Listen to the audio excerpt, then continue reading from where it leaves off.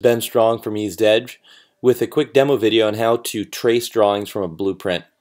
So sometimes uh, we'll have people get uh, blueprints from a builder without dimensions on them and uh, sometimes it's easier just to trace the drawings than to uh, convert them all uh, and get dimensions and measure them uh, in order to get a square foot estimate.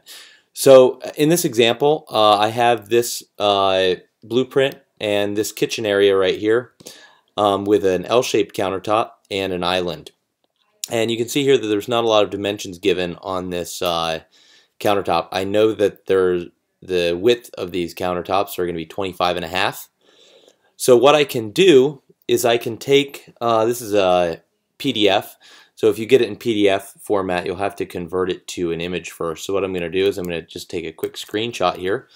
Uh, on a Mac, there's a screenshot app built in, and uh, there is on Windows as well. So there's there's some tutorial videos online that are you can easily find on how to take a screenshot. Uh, so here I am. I'm going to take a screenshot of this area of the kitchen, and then I'll go back to my uh, drawing, and I'll click this button here that says Add Blueprint. So I can click that, and I've got my screenshot that I just created. So once I have my uh, screenshot in there, my blueprint, I can just click and trace out this uh, L-shaped countertop right there. So I can go down, go over to the pantry, down here, over, and up. Now at this point, uh, I need to just scale this shape correctly. So uh, I know this dimension up here at the top is 25 and a half, so I can click on that. And then I want to click, th click this uh, checkbox that says Scale Entire Piece, which means the whole piece is going to scale up, scale up based on the dimension that I enter. So again, I know that this is 25.5, and I can cl just click Done.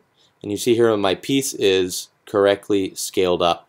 I've got 26 and a half down here because I didn't draw it quite right, so I can adjust this uh, there. And I'm, I'm going to have a pretty close idea of my square footage now, uh, at least for estimating.